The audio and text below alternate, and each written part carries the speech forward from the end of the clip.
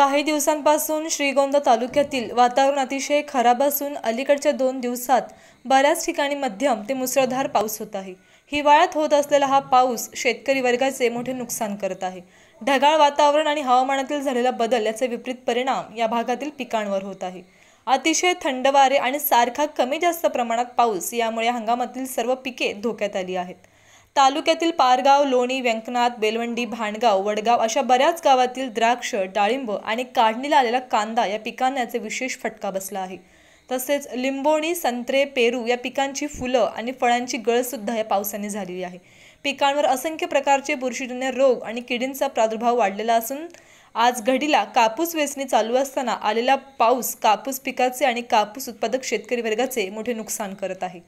या भागातील शेतकरी वर्गाने भरमसाठ खर्च करून प्रस- प्रसंगी व्याजाचे पैसे खर्च करून आणि मोठ्या कष्टाने पिकवलेल्या पिकांची झालेली अवस्था पाहून आपल्या शेतीमध्ये केलेला खर्च मिळतो की नाही अशी चिंता येथील शेतकरी वर्गाला लागलेली आहे.